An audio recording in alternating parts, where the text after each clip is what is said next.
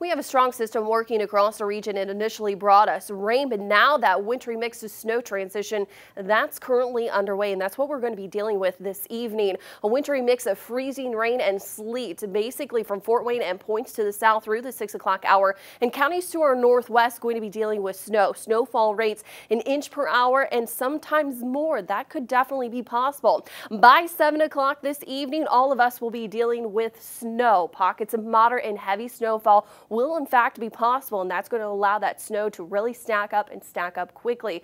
With that in mind, the roadways will become dangerous and on top of this, uh, below the snow rather, is some ice. So definitely do be cautious and if you can stay home, stay home. All of this is expected to shift off to the east by about midnight. We'll have partial clearing as we progress through the overnight hours, but honestly, it's going to be a cold one. Overnight lows are expected to fall right near 9 degrees. That wind, it is going to be kicking up the snow, so blowing snow will be an issue and of course reducing the visibility across the area.